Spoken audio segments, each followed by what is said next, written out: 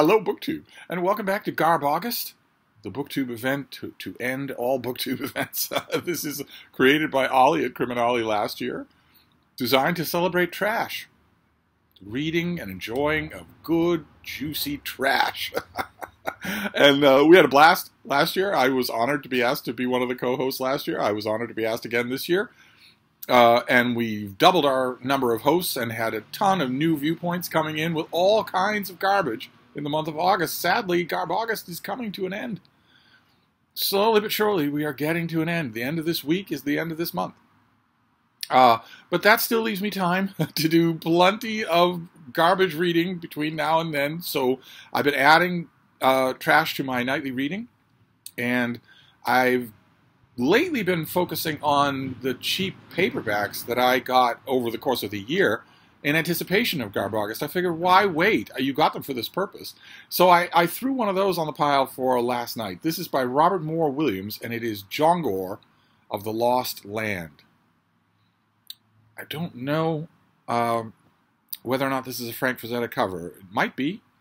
Uh, you've got Jongor there in the front, and there is a non-monstrous woman there that that is uh, our one of our main characters, Anne Hunter, uh, who's a kind of an airhead socialite, and I, I I've said it before, I'll say it again. I'm not 100% sure what's going on on that cover. The main thing, aside from the you know the hollowed out black eyes, the main thing that leads me to think it's a Frazetta cover is that I think there's a sexual subtext to it that is true in lots of Frazetta covers. I don't know quite what is happening to Jongor there, but you could tell right away when you're looking at this cover what kind of a book this is. I think this came out in the 1940s, and it is uh, Anne Hunter ends up accidentally in a lost world in Australia, uh, but a very typical Edgar Rice Burroughs type lost world that has uh, monstrous subhuman creatures like these on the cover. It has dinosaurs. It has gigantic insects. It has gigantic everything. Uh, big brawling, huge weather events. It's just a monstrous place. A place where if you put a, a, sweet, delicate tenderfoot down in that place, she wouldn't last 15 minutes.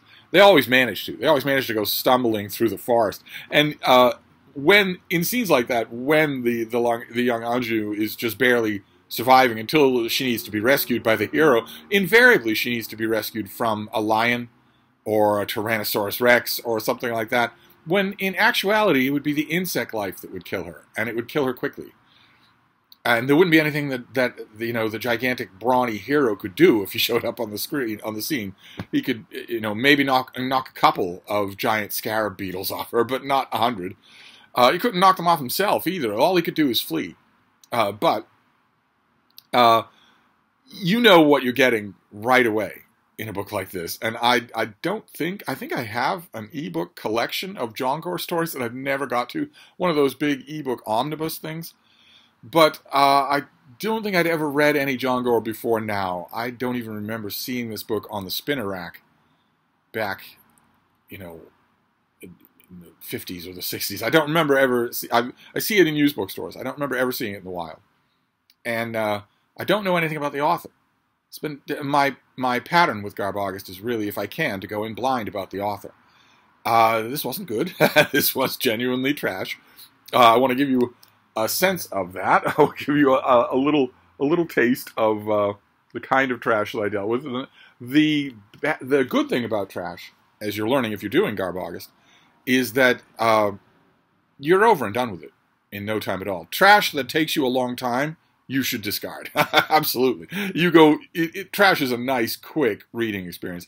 And the bad thing is that it's like fast food. Fast food also takes no time to prepare and no time to eat, but you really suffer for it. In the aftermath, you really suffer for it. You know that you've consumed something that's bad for you. Uh, it's just the guilty pleasure of trash, I guess. But let's let's uh, let's look in on Anne and see how she's doing. She has been rescued by John Jongor a couple of times now. He's not much for words, uh, he's actually not a savage barbarian. He's actually a, a, man from her world, from civilization, who has gone native. He's gone wild in this lost world. If that's ringing any bells, well, we'll get back to that. Uh, but in, like I mentioned, in addition to the giant animals that are everywhere, there's also weather that needs to be dealt with. Uh, And in this scene, if I remember correctly, I read this last night, but I'm already trying to blot it from my memory. If I remember correctly, this in this scene, she and Jongor are fleeing from a gigantic storm, a tornado that is chasing them. I guess for some reason. Uh, so this is this. Let's see here. To Anne, fleeing furtively from the tornado that seemed to know where they were, it seemed that night would never come. Behind her, sounding clearly through the growing dusk, was the monstrous gnawing roar of the twister. It seemed as if the tornado literally ate its way through the grove of trees. As they moved along the edge of the swamp, the roar continued behind them. Often Anne stumbled and fell, but each time Jongor lifted her to her feet. Now he stopped hastily at the sight of something on the ground and quickly sought another trail. If you were brought up short by stopping hastily, so was I. I think the author was just thinking, maybe I've used the word abruptly too many times in this book, so I'm not going to use it now. but you you actually can't stop hastily. but that's uh, anyway. Uh, Anne saw the, the thick rope-like body lying coiled.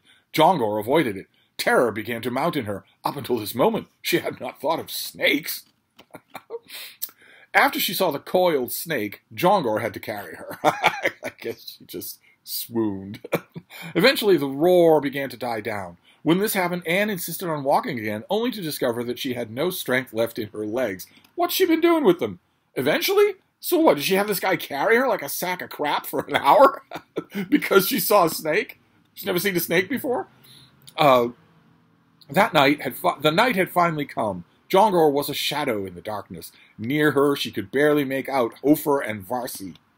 Don't worry. In fact, you'd be grateful that you don't know. I can't go any farther, she said to John. I simply can't. You haven't gone anywhere, sister. he carried you for who knows how long. Well, as long as it took for a storm to subside, and even after then, you said your legs were useless, so we presume that all the way until nightfall he's still carrying you. Uh, I can't go any farther, she said to John. I simply can't. But you can go on. Save yourself. Don't worry about me. Privately, she knew she was on the verge of a complete physical and emotional collapse. She could hear Hofer and Varsi panting for breath, and she knew they were as close to exhaustion as she was. Only Jongor seemed to have strength. If you can go on no farther, neither will I, he said. But you must go on, the girl insisted. My problems are not your problems. Mr. Hofer and Mr. Varsi will stay with me. I doubt if they will be much help, Jongor said. The young woman was very tired. In addition, she was so badly frightened that fear had ceased to have any meaning for her. In the darkness, the whirlwind was still muttering to itself. She thought it was not coming nearer, but she was not sure. You needn't sneer at these men, she said to Jongor. They are my friends. I wasn't sneering at them, Jongor answered. However, you might as well face the truth about them. Varsi is a weakling and a coward. Hofer is no weakling. On the other hand, he is dangerous and deadly. Both of these men are using you for purposes of their own. And of course, she says, That's not true. and. And uh, if you're sensing well okay he's the one bolt of nobility he's endlessly he's endlessly strong he knows this natural world he knows all of its natural dangers uh, he's from the civilized world and has come here to put on a loincloth and cry to the moon well if you're thinking all that sounds familiar, yes, this is a Tarzan pastiche novel. Only Tarzan was probably heavily guarded copyright, so Gore was born. He has the exact same origin story as a million other Tarzan knockoffs. In the comic books, it would be Ka-Zar, among many others. And that's all he acts like. He just acts like a bargain basement Tarzan. Uh, I don't know that I knew that about Jongor, but it, it isn't. You're not ten pages into the book before you realize that's what you're getting, and I'm not. I'm not averse to that. I have read many, many Star, uh, Tarzan pastiche fictions. I've even written one of my own on fanfiction.net. Uh, and I have a sweet tooth for them. Absolutely, I will take them. In fact, I'm on record many, many times in print and here on YouTube saying that I really wish that Edgar Rice Burroughs Incorporated in Tarzana, California was masterminding a booming business in ERB pastiche. Instead of not doing that, instead of not doing that, there should be 50 Tarzan pastiche novels. There should be 150 John Carter pastiche novels. Who knows what a really talented science fiction author could do with Carson of Venus? Who knows? We'll never know because Edgar Rice Burroughs Incorporated just does not seem to want to know. They authorize what? Uh, Michael K. Vaughan would know better than I do. I know they have the, their their their authorized Tarzan novels with newly commissioned cover artwork. And they also do a fair amount of authorizing of uh, comic books. But novels? No.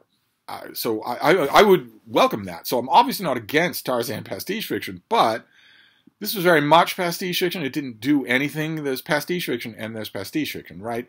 Some pastiche fiction is gamesome. It wants to push the boundaries of its beloved property. Plenty of original of authors of original material recognize that that playfulness in pastiche fiction is the ultimate expression of love. They don't feel like their creation is being violated. If it's not being violated, they don't feel that way. You don't need to stick to just the same old, same old. This book does.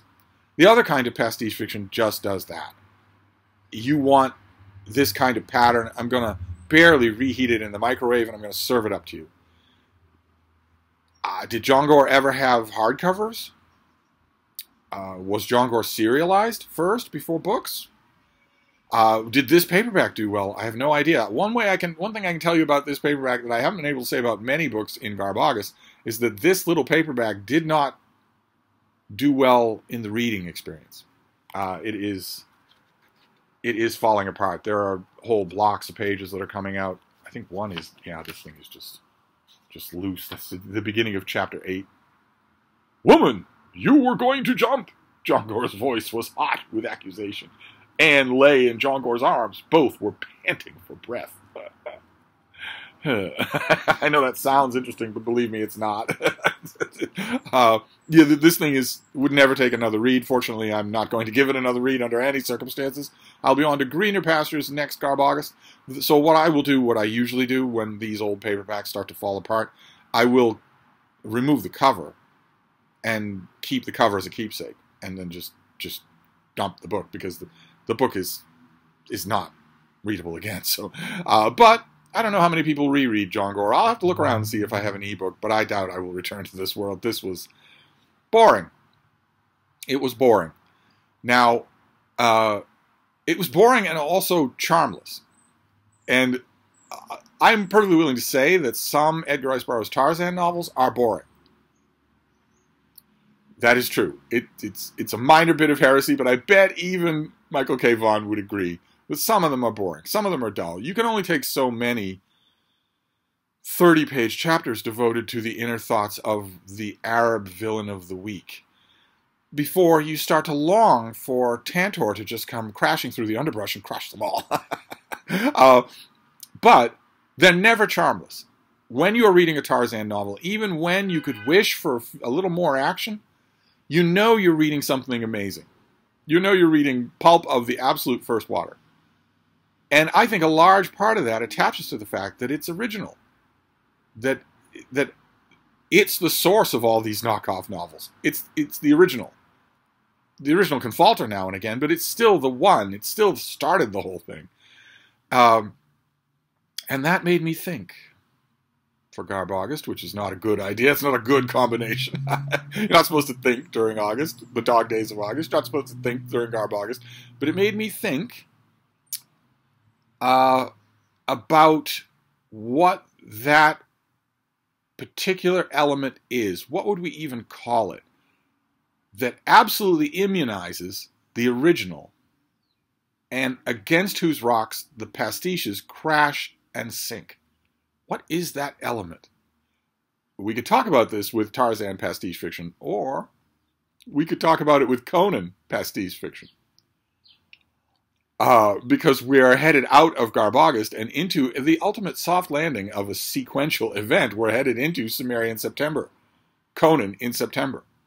Conan has had a million imitators, not maybe in since Conan's stories came out, maybe as many imitators as Tarzan. And yet, the exact same thing applies, I think. I think that no Conan pastiche fiction has the particular that particular glint of magic that the Conan originals do. The idea of Cimmerian September is that in the in the single month of September, if you wanted to, 30 pages a day, you could read all of Robert E. Howard's Conan. And you are strongly encouraged to. strongly encouraged this this great volume right here. Just dig into this thing and read the whole thing. Uh, that was on my mind. That's been on my mind about Conan because I've been I've been doing a lot of reading of Conan comic books lately and wondering what is the difference here? Much as I might be enjoying these things, they don't have the spark of magic that is in all the originals. So, what is the difference between the original and the pastiche fiction? You can't say it's the level of talent. With Tarzan uh, or with Conan. it's, a, it's, a, little bit of dicey ground there, but I would argue that in terms of. Uh, I'm going to get into trouble here, definitely. With Michael K. Vaughan, at least, I'm going to get into trouble. I would argue that some Conan pastiche novels were written by people who are better writers than Robert E. Howard. Uh, and we don't have many Tarzan pastiche novels, but when we get something close, Philip Jose Farmer wrote a, a, pastiche of Tarzan that doesn't name Tarzan, but it is very close. It is much better written. I, I don't think it has anything to do with the quality of the writer. I think it has to do with something else, and I haven't quite put my finger on what that something else is. But when you write a pastiche novel of a one dimensional figure, like Conan or Tarzan, when you write a pastiche novel of a one dimensional figure and it lacks that magic, what you get is trash. it was enjoyable. This is very enjoyable trash. I kept wondering what was going to happen to Jongor next. That's the whole point of a book like this. And we've seen in my own Garbaugust uh, journey in 2023 that that isn't always the case. So I count this today's trash pickup as a win. I read, I finally read a Jongor novel. I don't think I've ever read them before. Uh, but I, I, think this is the first one. So I've got a little Jongor in my system now. I'm immunized. but anyway, that's my trash pickup for today. Just a few more Garbaugust visits until the month is over. I'll see you next time. Thank you, BookTube.